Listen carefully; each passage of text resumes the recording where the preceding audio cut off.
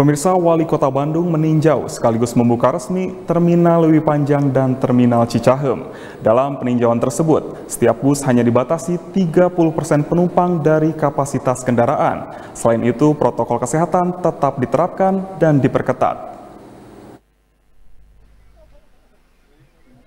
Pembukaan operasi untuk bus tersebut hanya untuk trayek ke sejumlah daerah yang terdata sebagai zona kuning, biru, dan hijau seperti wilayah Jawa Barat dan DKI Jakarta.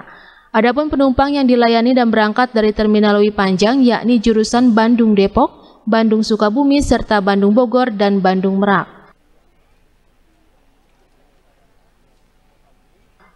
Menurut Wali Kota Bandung, Oded M. Daniel, bus yang mengangkut penumpang dari terminal hanya dibatasi mengangkut sebanyak 30 persen dari kapasitas bus. Sudah dibuka atau dimulainya ya eh, terminal panjang ya untuk aktivitas konsultasi ya untuk masyarakat.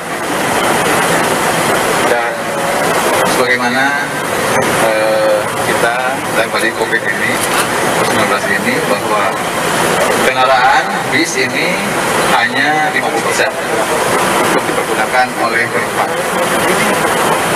Dan tadi juga kita uh, launching aplikasi Bemo ya, mudah-mudahan uh, bisa membantu masyarakat juga di dalam apa namanya mempermudah masyarakat mengetahui di mana posisi uh, bis uh, Bandung ini ya Bandros juga ya untuk masyarakat di satu masing-masing. Semua calon penumpang yang akan masuk ke Terminal Lewi Panjang diwajibkan masuk ke ruangan desinfektan untuk keperluan penyemprotan.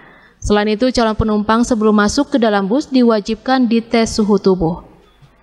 Yuwana Kurniawan, Bandung TV